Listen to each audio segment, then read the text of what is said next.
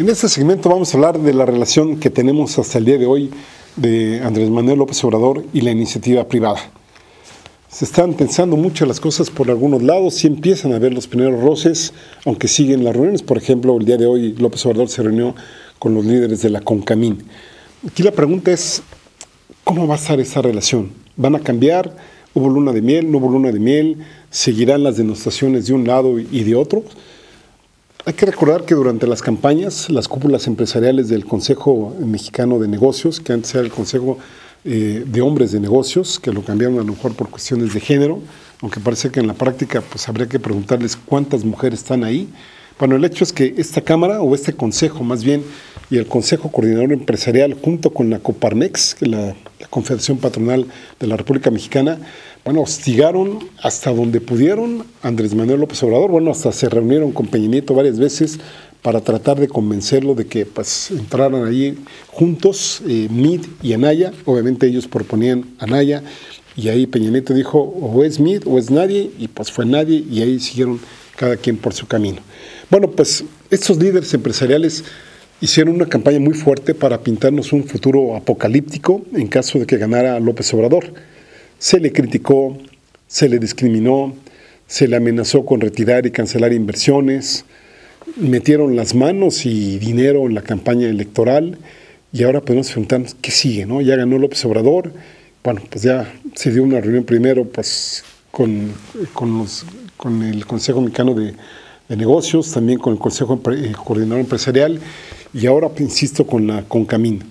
Pero pues aquí, si bien es cierto que hubo un cambio de discurso entre las dos partes, es muy probable que a corto plazo empiecen, empiecen pues a, mostrarse o a salir las diferencias por el modelo de, económico que se quiere ver o por los cambios que se quieren plantear. Y peor aún, y esto hay que recalcarlo, por la desaparición que estamos teniendo del presidente Enrique Peña Nieto, que parece ser que se fue a la playa o no sabemos dónde está, pero el que está tomando la agenda pública es López Obrador y a mí se me hace esto muy peligroso porque pues dicen que hasta el 1 de diciembre asume el cargo y ahora pues ya empiezan a encargarse en una serie de cosas. Hoy precisamente Riva Palacio pues da, dedica toda su columna a, a, ver cómo se dieron las comunicaciones del primer encuentro que tuvieron Peña Nieto y, y López Obrador. Y dice que en vez de que López Obrador haya, digamos, modificado su agenda en función a Peña Nieto, Peña Nieto la modificó en función a lo que López Obrador podía. Bueno, el hecho es que entre los empresarios, volviendo a ellos, eh, se había dicho que ya estaban en luna de miel, etcétera, y el líder de la Coparmex se encargó de rectificar. Esto lo había dicho Alfonso Romo de que pues ahora había una luna de miel entre ellos y dijo que no, que aquí no había una luna de miel y que simplemente estaban viendo a ver qué onda, que estaban ajustando a ver qué podían trabajar juntos, etcétera, etcétera. Esto, aunque algunos empresarios pues han hasta grabado mensajes, seguramente los puede ver usted en YouTube ¿no? o en algunas redes sociales, de que estaban dispuestos a contribuir con el nuevo gobierno. El hecho es que unos y otros, por el momento, nos quieren transmitir actitud positiva, nos quieren transmitir confianza, certidumbre de que van a trabajar hombro con hombro, eh, la IP con Andrés Manuel López Obrador. De hecho, Juan Pablo Casañón, el líder del Consejo Coordinador Empresarial, alabó a López Obrador, vean ahí, pues ahora sí que no podemos decir de manita sudada, pero sí de manita muy amigable, y lo llamó señor presidente, y le dijo que lo que más le preocupaba es que pues construyeran juntos sociedad y gobierno, pues ahora sí que lo que, venga, ¿no? Hay que recordar que Juan Pablo Casén, poco antes de las elecciones, él mismo advertía que el empresariado popular no quería un gobierno como el de AMLO, porque estaríamos dando un paso atrás en la modernidad y regresaríamos a escenarios que ya estaban superados.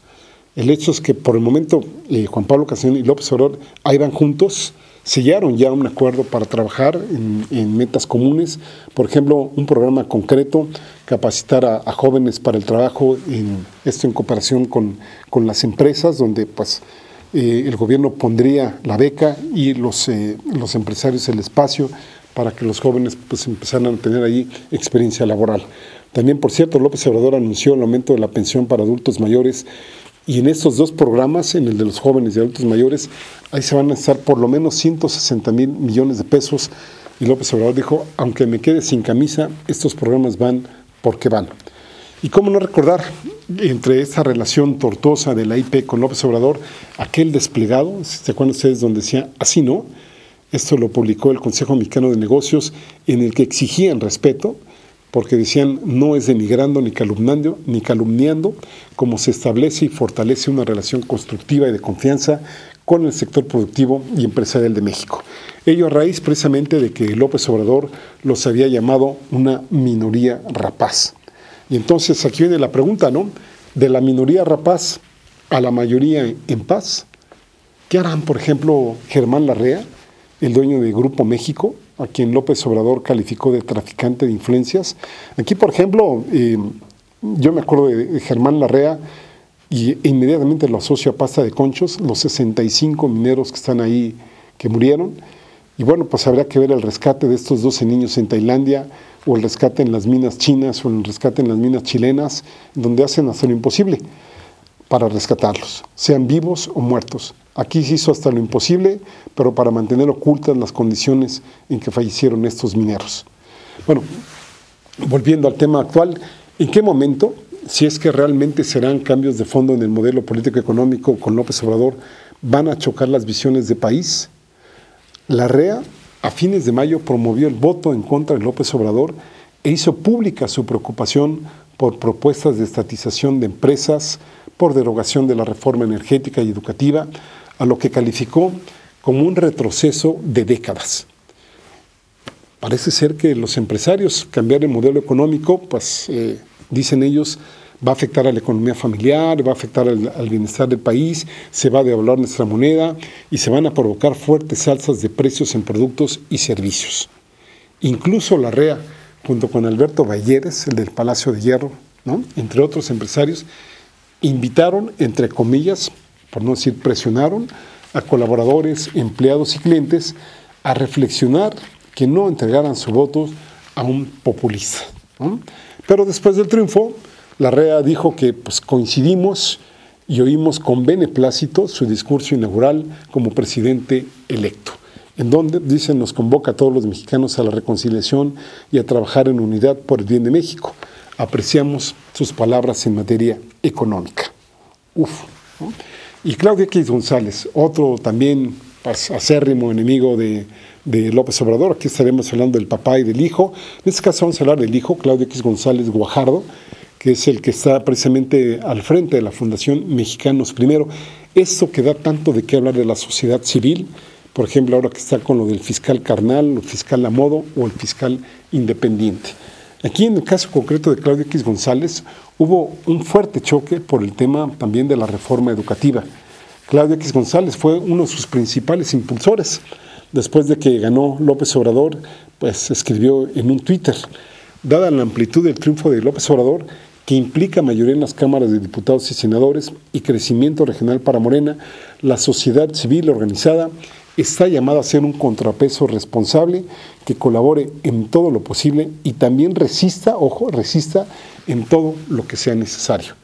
Aquí habría que decir que esta organización pues no es la única que representa, presenta a la sociedad civil, es parte muy importante de la sociedad civil y una de las mayores reticencias que tiene López Obrador y su grupo, supongo, es que, pues, ¿quién financia estas organizaciones civiles o algunas de ellas?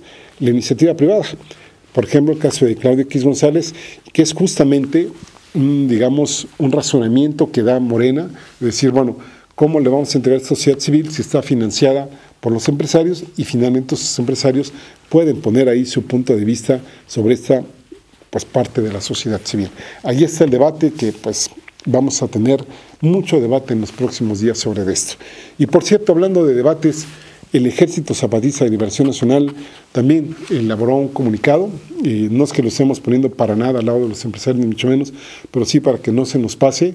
En ese comunicado, dado pues casi el fin de semana, por ahí de viernes o sábado, llamaron, llamaron a una reunión, bueno, a dos, una en caso de, de mujeres y otra abierta, en donde pues ahí hacen una serie de, reflexiones en las que señalan que, pues, que además de festejar, es hora de entender.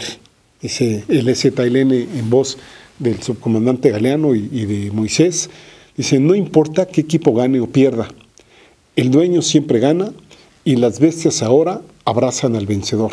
A lo mejor aquí el sub estaba pensando, pues a lo mejor en Fox o en algunos de estos empresarios o en algunos otros que antes denostaban a López Obrador y ahora pues lo están comprando. Y reflexiona más este comunicado del EZ donde dicen, podrán cambiar el capataz, los mayordomos y caporales, pero el finquero sigue siendo el mismo. Eso me parece muy válida esta reflexión, porque pues qué tanto se podrá hacer en este régimen. Yo en lo particular soy de los que opino que pues, yo simpatizo mucho con la causa del ZLN, pero también me parece ser que hay que llevar las vías pues, en las dos, ¿no? Es decir, la, electoral, porque finalmente, pues querramos o no querramos, pues son los que manejan nuestros dineros y los que nos tienen en este estado deplorable, pero también soy de los que creo que no necesariamente por la vía electoral vamos a lograr cambios de fondo y creo que la construcción de nuevas alternativas siempre hay que acompañarlas y apoyarlas.